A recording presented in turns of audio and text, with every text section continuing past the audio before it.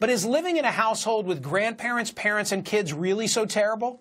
Jonathan Coppage wrote on that subject for the Washington Post. He's a senior visiting fellow at the free market think tank R Street Institute and a contributing editor to the American Conservative. So you say we're repeating a pattern that used to be the case. That's absolutely right. What's important to recognize is that people living with their families is not at all a new trend, but rather the way that things used to be. We've taken to understanding ourselves through the lens of a very weird place in American history, which was the 1950s. But when you look at the greater sweep of our country's history, people lived with their parents uh, as a norm, and parents then lived with their kids. What was important is that they contributed. And it's not a matter of fact that living at home means that you're dependent. You can still absolutely be productive, but you can take advantage of the familial support. What accounts for this? So it's a really interesting trend. Um, some of this is delayed marriage. And uh, part of this is that in the 60s, we had the youngest marriage, uh, age of marriage. Age of first marriage in American history. And so we grew to expect that as the common pattern, and now we, we marry much later, and so we don't form independent households, and so we don't have a need for the younger people to acquire entire homes to themselves when they can be fiscally prudent by sharing the housing wealth of their parents. Jonathan, I think there's a stigma, nevertheless, associated with it. Let me show you a quick snippet from uh, former House Speaker Nancy Pelosi, and then I'll make my point. Roll it. If you're a senior, you know, Medicaid, almost half of Medicaid is about long term health care.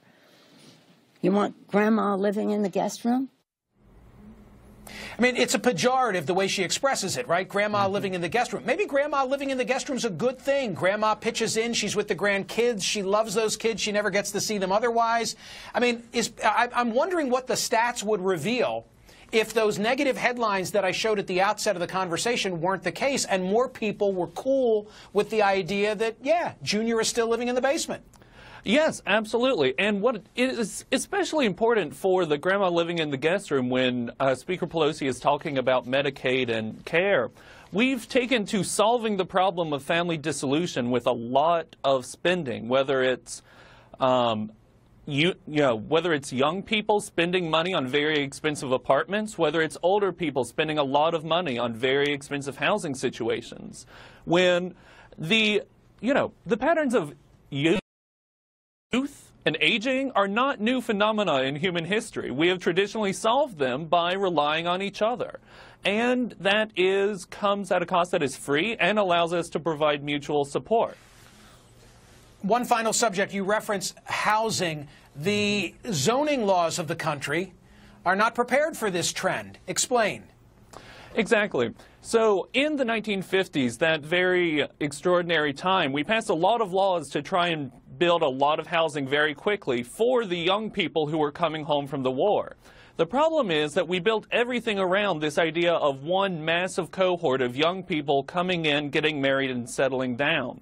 And so what we did is lose the ability to build more flexible forms, such as an accessory dwelling unit, what was literally called the granny flat, the mother-in-law unit, and we have passed zoning codes that make those almost impossible. And it's not even just local codes. It's important to recognize that federal financing greatly shaped the the uh, formation of the American household and continues to today, whether it's main streets or whether it is accessory dwelling units and the ability to have the granny flat if Granny is going to live in the basement, that'll be fine. But if, if you want to build a tiny addition or maybe build out the garage, zoning might not allow it, is your point. Hey, it's a really mm -hmm. insightful piece. Thank you for writing it.